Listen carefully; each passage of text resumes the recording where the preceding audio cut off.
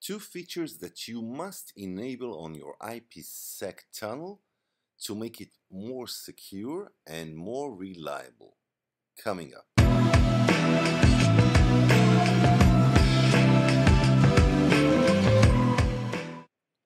Your IPsec tunnel is actually comprised of two phases. Those are phase 1 and phase 2.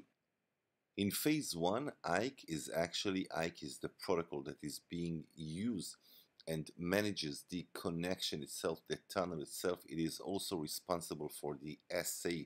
Those are the security association, the cipher algorithms, and the hash functions that are actually being negotiated between the two peers.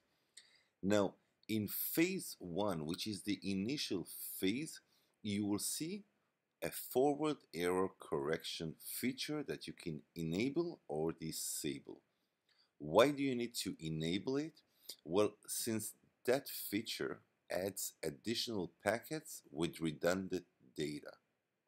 So if for any reason your connection suffers from congestion and you're seeing packet loss, forward error correction will help you to reconstruct any packet, any lost packet or error that you will see in the transmission.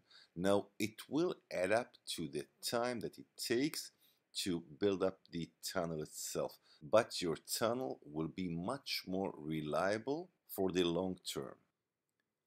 The second feature that will make your IPsec much more secure is the perfect forwarding secrecy. Now you will see it only in phase 2. The thing is that in phase 2 your IPsec tunnel will actually extract new keying, new keying material from the Diffie-Hellman key exchange. Now, we will not get into uh, the Diffie-Hellman algorithm and how that works. I will just say that it is being used to share or to create a shared secret key between the two parties, between the two VPN gateways. Now, if you're not enabling perfect forwarding secrecy, the Diffie-Hellman that is done at phase 2 will actually extract new key material from the initial phase 1 Diffie-Hellman key exchange. If you enable perfect forwarding secrecy, there's a new key exchange that is being performed.